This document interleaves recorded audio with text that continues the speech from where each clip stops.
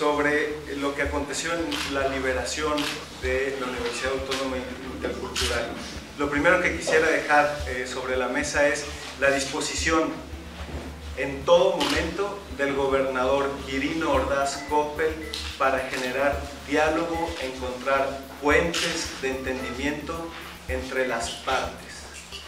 Esa es una parte, este es un, un fundamento muy importante porque en todo momento hubo disposición del gobierno del Estado para generar acuerdos.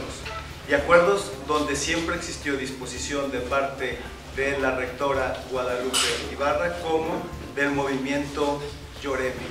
Que invalidó la ley Guaim no, fue, no es aquí, no, no, tiene nada, no tenemos nada que ver los estudiantes y las autoridades administrativas, fue el Congreso del Estado.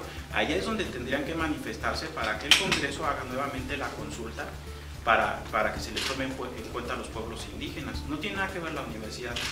Y en una denuncia que nos afectó nuestros intereses, que despojó a nuestra universidad, y si quieren que ellos que se retire esa denuncia, bueno, entonces vamos a hacer una verdadera mesa de, mesa de negociación vamos a cambiar monedas, les damos una moneda, que es la, que es la libertad, que nos den una moneda, que se salgan de nuestra universidad. Esa sería una, esa sería una negociación que yo propongo. La Suprema Corte de Justicia, como tú eres abogado, lo comentábamos, habla de invalidez, nunca dice nulidad.